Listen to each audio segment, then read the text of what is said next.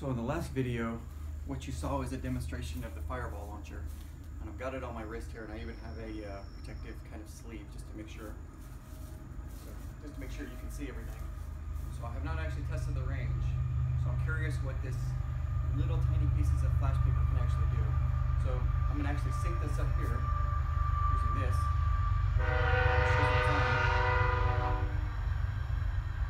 I've got it on. Now should get to see some fireballs. So, three, two, one. Three, two, one.